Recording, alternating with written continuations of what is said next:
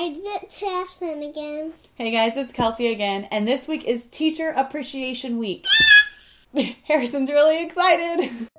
Ba, ba, ba. Level up. So, it was suggested at Harrison's preschool that the kids each make something for their teachers to show their appreciation for them this week.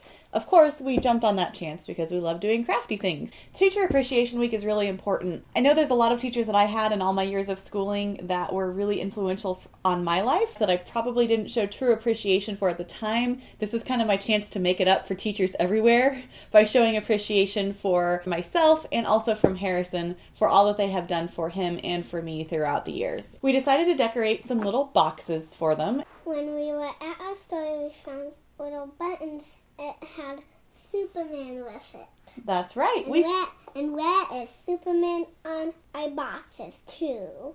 We found some really cool superhero buttons. And even on a lid where it's sparkly ribbon. So we got the idea to do a fun little superhero comic book collage all over our boxes for our teachers. They open up and there's even candy inside of them. And even where it's red candy and blue candy inside. Okay. Teachers are superheroes. Teachers are definitely superheroes and we wanted to show them that.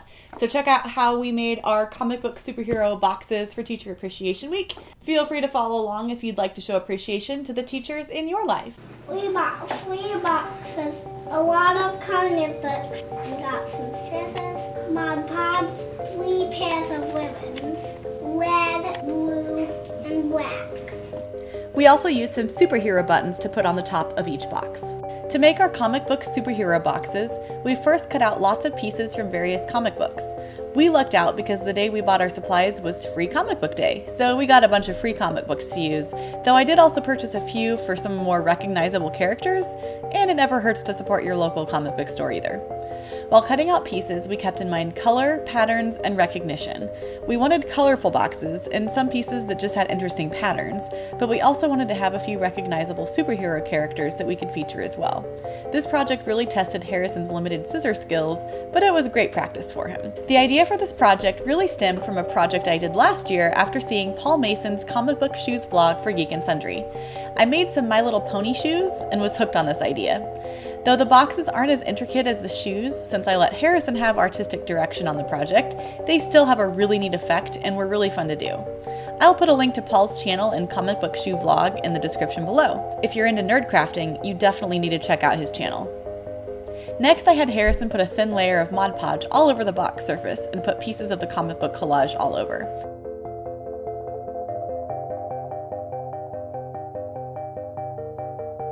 As he placed pieces, I put a layer of Mod Podge over the top of each piece so they could be layered and covered. I found it easiest just to use my fingers for this to help mold the pieces to the curves in the box. It's extremely messy but very effective.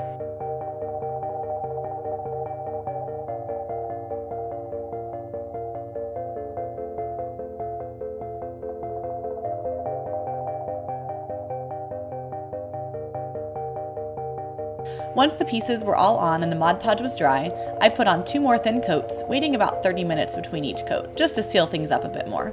Word of advice don't let them dry on paper towels like we did, use wax paper. Also, let them cure for about 24 hours before putting the lids in place so your lids don't get stuck. Finally, I had Harrison show me where he wanted the sparkly ribbon and superhero buttons, and I hot glued them in place.